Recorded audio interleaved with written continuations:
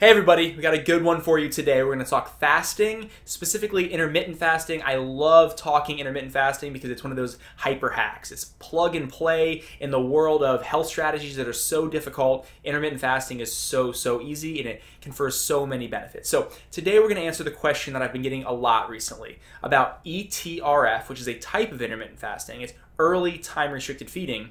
And we're going to pair that up against intermittent fasting, regular old 16-8 intermittent fasting where you eat kind of more in the evening. And the question I've been getting is, hey, I'm an IFer, like most people.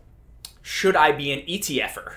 Um, and the question is coming because a, some research came out recently, and it showed for the first time ever that ETRF has confers metabolic benefits outside of weight loss. And so, kind of the raging debate for a long time now has been: Are the benefits associated with intermittent fasting all contributed to weight loss. And this study showed that ETRF, a type of intermittent fasting, confers metabolic benefits regardless of weight loss. So for the first time, that's, that's a major win for intermittent fasting. I think it's one of those things that we all kind of knew for a while, but this is you know set in stone, solid RTC clinical research. So um, let's really quickly for any of you newbies, that people that don't know what intermittent fasting is, or the, or the kind of the, only know the basics, or what ETRF is, and so like let's just cover fasting really quickly. So fasting is not eating. Let's cover the terms. Fasting is not eating.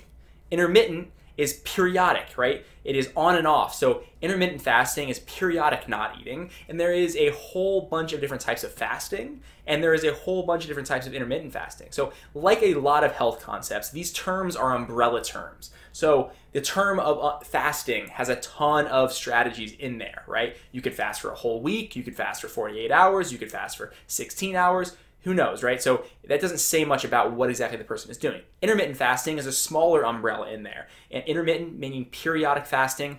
The most mainstream type of fasting is intermittent fasting in a 16 colon 8 fashion. So 16 by 8. And what that designates is that you have a 16 hour fasting window and an 8 hour eating window. So for most people, that means that they eat a late lunch and then they cram all their food between a late lunch and, and a dinner, right, essentially, and then they don't eat overnight, they skip breakfast, and then their next meal is a late lunch again. So that's how you get the 16 hours, which occurs overnight and in the morning of fasting, and then your eight-hour eating window typically occurs between you know noon and eight or two and 10, depending on what you're doing. So the point being here is that most intermittent fasters have their eating window in the evening. Okay, this is contrary to ETRF, early time restricted feeding, which is essentially intermittent fasting, but your eating period is in the win is in the morning. Okay, so ETRF in this study looked at when people wake up and around eight they start eating, and they eat all their calories between eight and I think their last meal was around two o'clock p.m.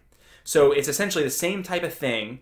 Um, it's a slightly more constricted window, but you're eating all your meals at the front portion of their day. So you're front loading your day with food. And the reason for this, and the reason why ETRF has some, uh, quite a few supporters actually, is because of the circadian rhythm. So the body has a natural circadian rhythm where certain things happen depending on the time of the day.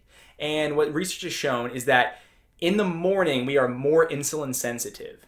And so it makes sense that we are eating our calories in the early portion of the day and taking advantage of that circadian induced insulin sensitivity um, especially if you're eating carbs. So that is kind of the question. People want to know I'm an IFer, I eat in the evening. Should I switch to being an ETRFer? Uh, are the benefits there enough to justify me kind of totally switching my day around and everything? So let's let's get into it. Um, so first and foremost, I would say that intermittent fasting has a ton of benefits. And ETRF has a ton of benefits. If I were to rate the benefits conferred by these super cool strategies that don't require a ton of effort, I would give ETRF like an A plus, and then I would give intermittent fasting like an A.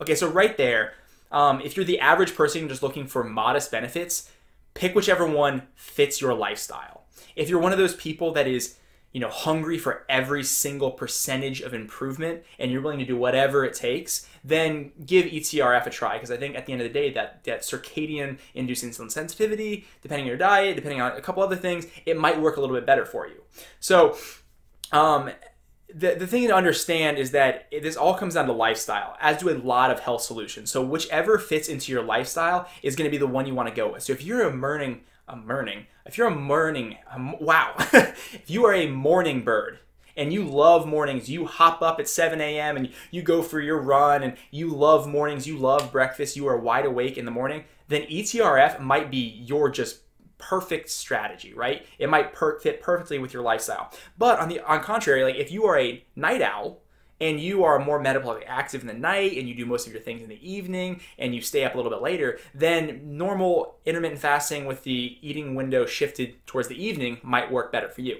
The other big thing is like if you have a family, so if you work and you have kids, I think it's important to preserve that meal time with your family. And nine times out of 10, that meal, that family meal is dinner. And so, you know, I don't want you to up, you know, overhaul your entire family structure just so you can do ETRF and get a few more benefits than just regular old IF, where you can preserve that family meal and dinner, and sit down with your family, and you know talk about the day and whatnot. So at the end of the day, again, you're looking at A plus benefits for ETRF, or you know A benefits for intermittent fasting. So one of them you're eating in the morning, one of them you're eating in the evening. Uh, at the end of the day, I'd say you, are probably going to get a bigger bump in benefit from restricting that eating window than from switching from one to the other. So if you're doing a 16-8 intermittent fast right now, try a you know an 18-6 or a 24 intermittent fast, right? Those are restricting those eating windows is going to prolong the fast. I mean, if you restrict one, one the other one's got to get a little bit bigger. So try a 24. Um, 20 hours fasting, four hours eating, see what that does for you, especially if you like having that window in the evening. I think that's going to probably confer, confer more benefits than switching to like something like ETRF.